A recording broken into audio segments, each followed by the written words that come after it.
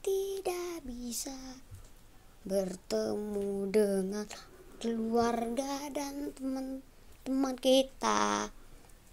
Dan kita harus lebaran di rumah saja. Hmm. Tujuan go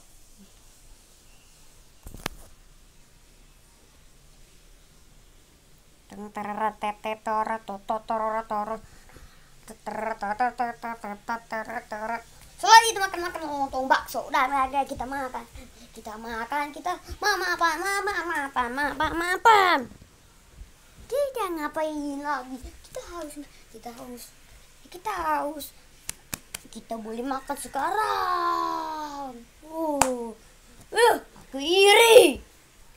Udah rasakan nih foto channel TV eh itu video ya di sini bakalan rame. Bagaimana caranya kita? Kita akan makan lontong bakso dan mie juga. Kira lu makan namu ih. Mama, mama, jangan diulang lagi. Kalau diulang lagi, kamu bakal dapat dosa yang banyak banget. Dosa yang gede, segede, segede bumi.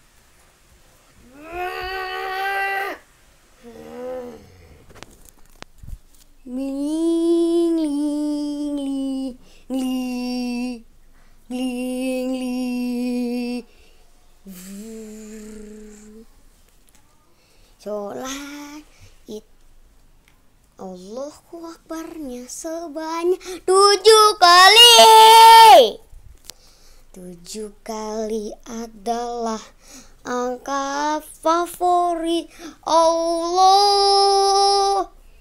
Karena ada tujuh pelangi dan tujuh al rok dan tujuh.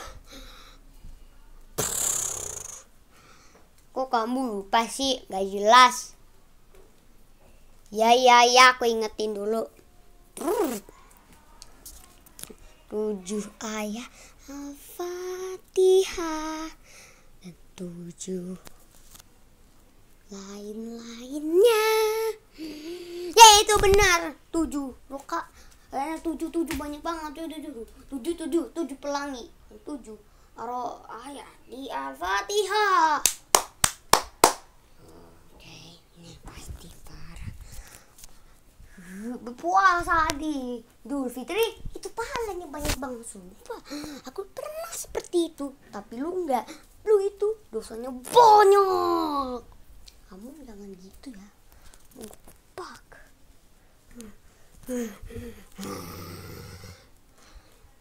jangan pernah durhaka sama orang tua tuh. Kalau durhaka sama orang tua masuk neraka. Dosanya banyak banget dosanya sepohon. Nggak jelas banyak banget. Kalau masuk neraka ada setan yang banyak banget di sana.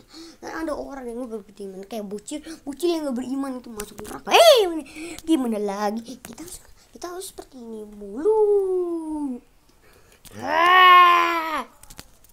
jalan-jalan ke mall kita nyari baju koko. Untuk apa lebaran selanjutnya. Untuk idul adha juga. Idul adha potong sapi. Dan kambing dan kerbau. Apakah kerbau bisa? Benernya gimana? Kalau kita potong potongnya gimana? Lah gimana? Uh.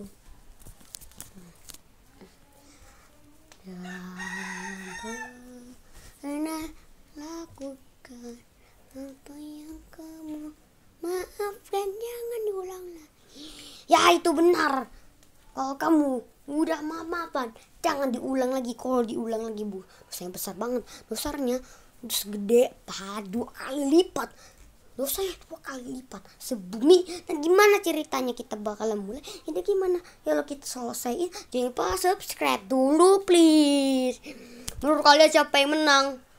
Tolong komentar di bawah ya. Atan atau Gibran yang menang.